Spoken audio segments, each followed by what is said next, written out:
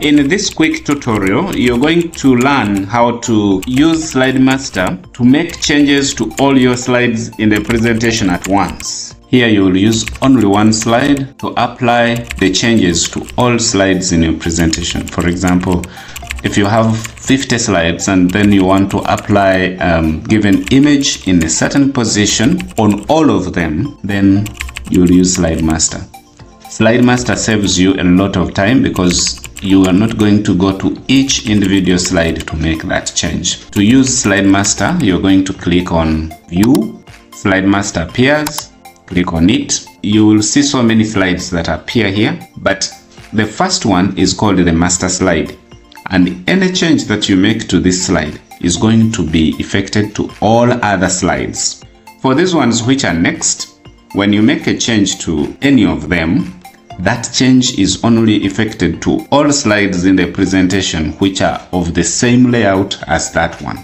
For example, if you made a change on this one, which is the title slide layout, all slides in your presentation which are of title slide layout are going to have those formattings. If you applied the changes to this one, which is the title and content slide layout, all your slides in the presentation of that layout are going to have those changes. Let's click on the first one, which is the master slide, this one here. Okay, you apply any change to this slide, that change will be affected to all your slides.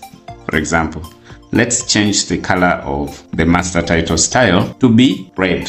Highlight that text here, which says click to edit master title style, then click home. Uh, this is the font group where you can make changes to the font. Click here to change the color to red. There we are. Click here to change the font style to Algerian. Okay, you can insert a picture.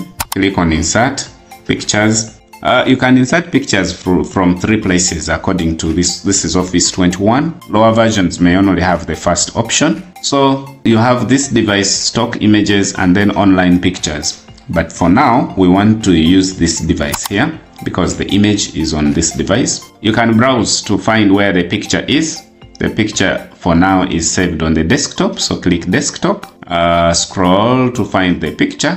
That is the picture I want to use. I click on it, then click insert.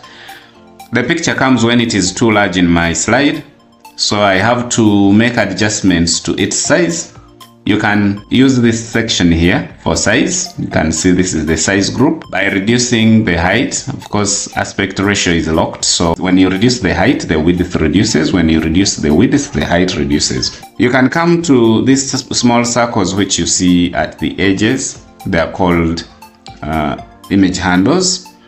Bring the pointer to the one in the corner. The pointer changes shape. Then press and hold the left button of the mouse. When you move inward, you're reducing the size. When you move outward, you're increasing the size. Okay, let me reduce the size of that image. That's now the size and increase it a bit. Okay, now move this image to the position where you want it to appear. For now, I want it to be there. You can apply some animations to this text. You can apply some animation to the title, title style just click in this text which says click to edit master title style uh, then click animations and you choose the animation you want for the title. Yes for now I want let me put let me apply uh, floating. Okay you can apply some uh, animation on the image as well. You can click here to view the rest of the animations that are available. Let me use swivel. Okay that is the image animation. You can apply some animation to the text. Click on text here and then uh, you apply the animation which you want like flying. Okay, so everything that you are applying, everything that you're doing in this slide is going to appear in all other slides in your presentation. Okay, allow me to also change something about this shape, shape format, and then you can change the color, uh, the shape fill by choosing the color of your choice here. Let's use this color for the shape fill.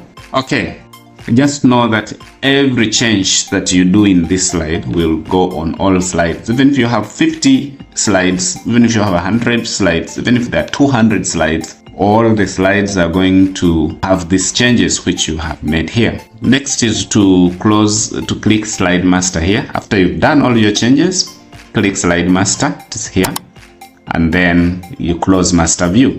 Yes, that is it. So next is, uh, let's run this slideshow to see how the changes have been applied. Yes, this is my first slide. Okay, this is, uh, okay, you can see um, okay. So you're seeing the titles are the same.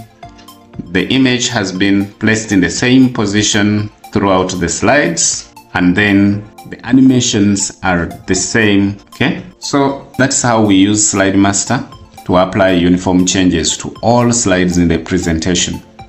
If you learned how to use slide master like this video. And if you want to continue improving your proficiency in PowerPoint, please consider subscribing to this channel and also hit the notification bell so that each time I publish such a video, you are the first to be notified. See you in the next one.